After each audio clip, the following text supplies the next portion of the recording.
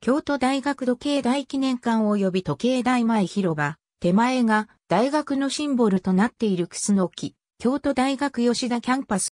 京都大学の本部が設置されており、同大学の最大規模のキャンパスである。吉田地区と呼ばれることもある。道路によって以下の7つの構内と呼ばれる地区に区分されている。各構内の名称は2000年代から用いられるようになったものであり、教員、学生の間では以前の通称が用いられることもある。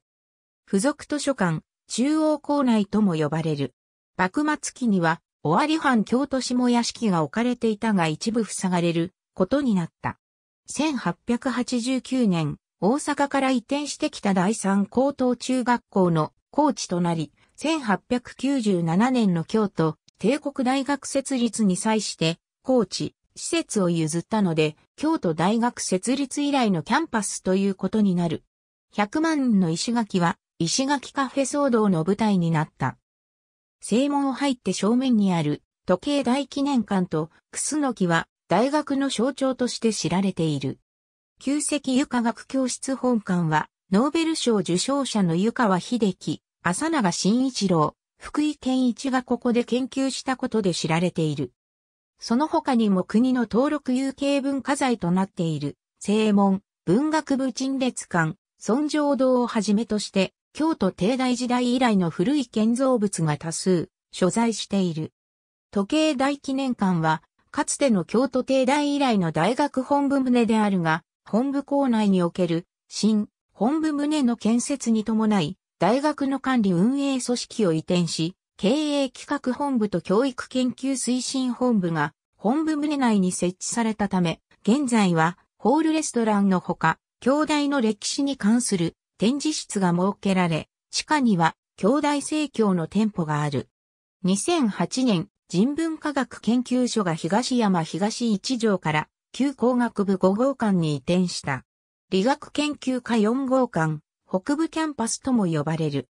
幕末期には、土佐藩の下屋敷が置かれていた地で、農学部の新設に際して、京都市より80万円の寄付を受けて1921年までに取得され、その後理学部がここに移転した。理系中心のキャンパスであり、大学院生が多いこともあり、京都大学をよく知る人の間では、本部や吉田南に比べ落ち着いた雰囲気があると言われている。北東角にある農学部グランドでは、アメリカンフットボール部をはじめ体育改革部の活動が行われている。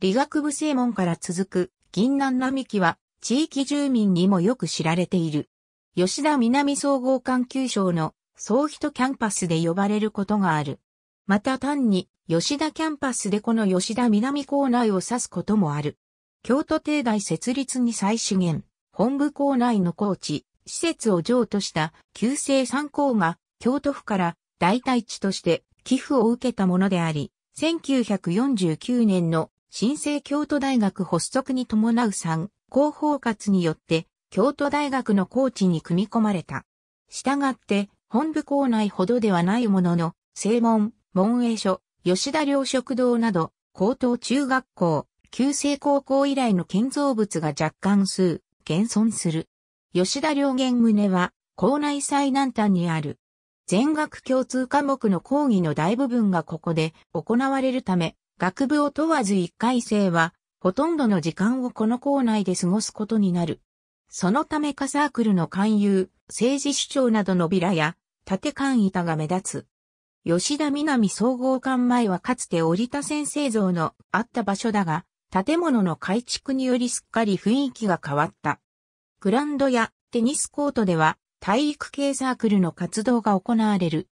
2004年、国立大学としては初めて民間のコンビニエンスストアローソンが吉田南総合館地下に開店した。総合体育館講義室や研究室はなく、スポーツ実習の他はもっぱら課外活動に使われる。もともとは1902年、京都高等工芸学校が設立された際のコーチであるが、同校が1928年、京都市電東山尖閣府に伴う高知削減を機に、現在の松ヶ崎高知に移転したため、京都帝大に移管され、西部行動などが建設された。西部行動前にはサークル棟がある。1988年に11月際事務局などが入っていたサークル棟が全焼しており、残る木造3棟も老朽化のため建て直しの計画が大学当局より提示されていたが、新しい建物の管理方法などをめぐって学生側と大学の意見が合わず懸案となっていた。しかし2000年代に入り両者の交渉が進展した結果、2008年から2009年にかけて校内に鉄筋コンクリート3階建ての新棟が完成、全サークルが移転した。また、京都大学生活協同組合の施設が所在するなど福利厚生施設の拠点でもあり、西部食堂に加えて1994年には書籍部が本部校内から移転してきたため、両者を合わせてルネの愛称で知られている。入学式、卒業式、学位授与式といった式典は総合体育館で行われていたが、2009年度入学式は都メッセで行われた。医学部校内、南部校内とも呼ばれる。全域が医学系の施設で占められている。1899年、新設の京都帝大医科大学の校地として取得された。この地区は吉田キャンパスでは現在のところ最後に拡張された。幕末期には会津藩下屋敷が置かれ、明治期以降は1889年創立の京都織物会社の敷地となっていた。